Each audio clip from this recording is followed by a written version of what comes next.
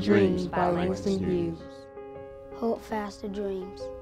For if dreams die, Life is a broken winged bird. that cannot fly. Dreams to me means accomplishing the impossible. a dream that things can, when you dream in your head, it's like adventure, new adventure. To me, it means one has to always have dreams. Dreams is your imagination, but it can probably come true eventually.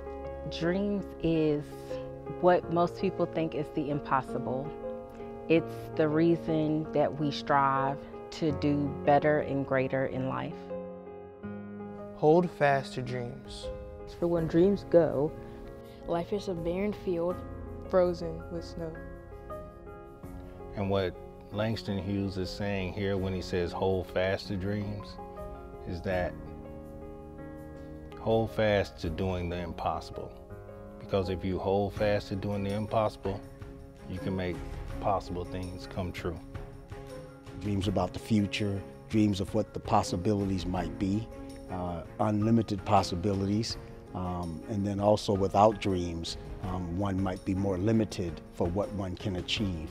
So having dreams are obviously a, a first step to achieving all that you want in life. I think he was trying to get us to understand that whatever dreams you have, you have to still pursue those in spite of what obstacles may be in the way.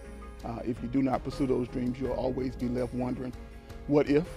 Um, and a dream, again, that is not pursued is just like he said, a frozen field or a field with snow. Um, it's like no use.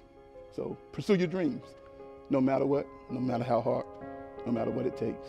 At least you won't be left with regret.